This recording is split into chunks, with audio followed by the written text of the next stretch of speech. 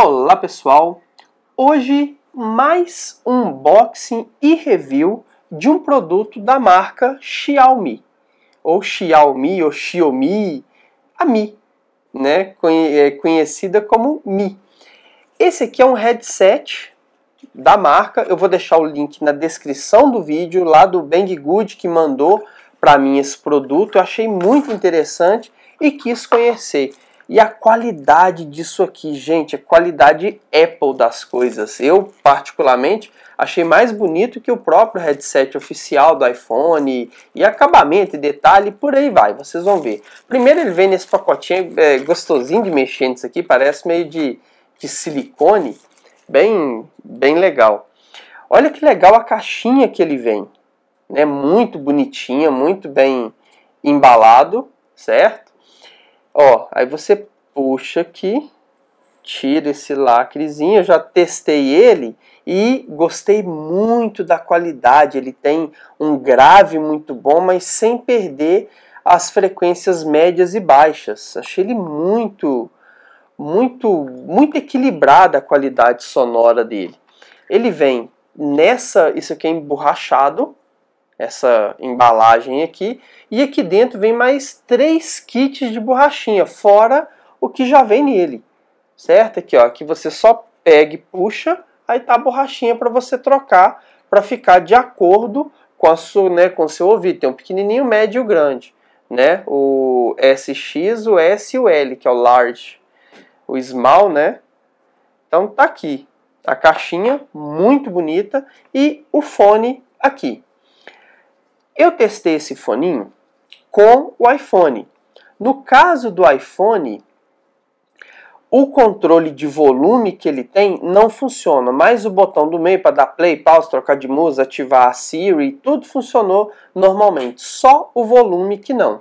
Olha que legal, ele está enrolado e depois né, você desenrola, tira aqui e abre ele aqui. Muita gente apanha para poder guardar isso nas caixinhas, mas eu, eu sempre gosto de, de guardar. Aqui, ó, essa parte é emborrachada, não quebra, não, né? Cheirinho de borracha, normal, parecendo, parece pneu. O, aqui, o fone de ouvido.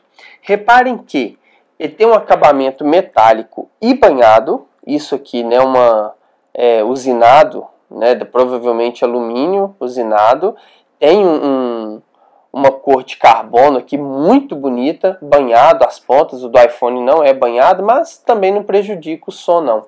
O cabo, esse comprimento aqui deve ter um metro, um metro e pouquinho, ele, ele tem aquela malha nele, né, que protege o cabo, aí quando chega aqui com outro acabamento né, é, em alumínio usinado, aí ele divide para o fone e não tem a malha.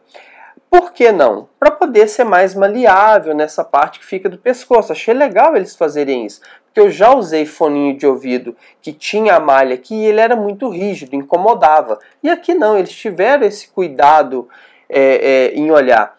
E aqui o controle remoto dele é muito bonito, muito bem feito, os botões fininhos, né? O microfone aqui atrás funciona perfeitamente. No iPhone esse controle de volume não funciona, mas o botão do meio, do meio funciona normalmente. O foninho de ouvido, ele é muito confortável porque ele é curvado. Então ele, esse aqui é do lado de cá, ó, ele entra reto na orelha, mas o fone já entra para o lado que é o furo do, do nosso ouvido. Então ele entra perfeitamente, é muito confortável e abafa bem o som. E, gente, a qualidade de som desse fone eu achei excelente. Ele abafa bastante, eu ando de moto.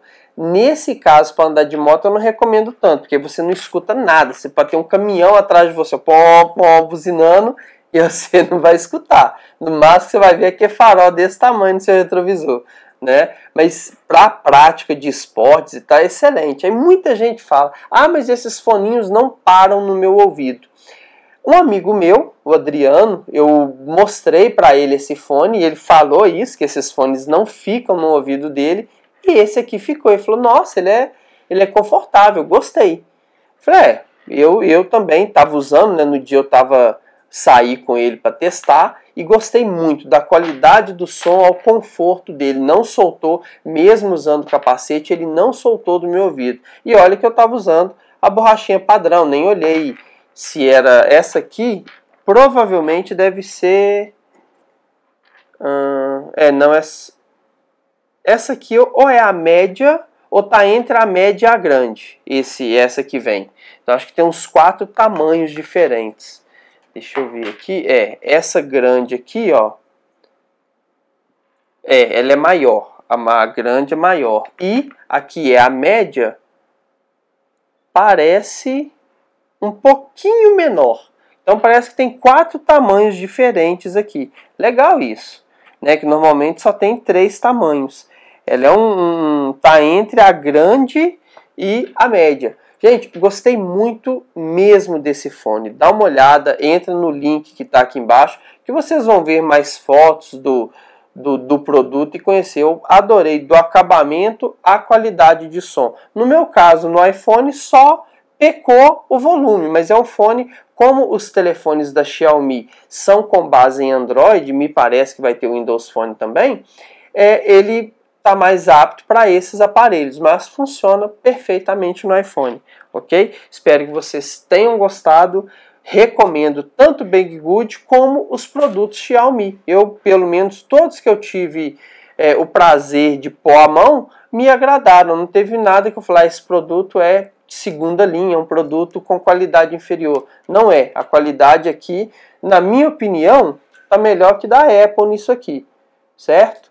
Espero que vocês tenham gostado. Não se esqueçam de instalar nosso aplicativo e muito obrigado a todos os inscritos do canal e todos que veem o canal também. Um grande abraço e até o próximo vídeo. Obrigado por ter assistido o vídeo. Clique em gostei, compartilhar e sininho nosso canal.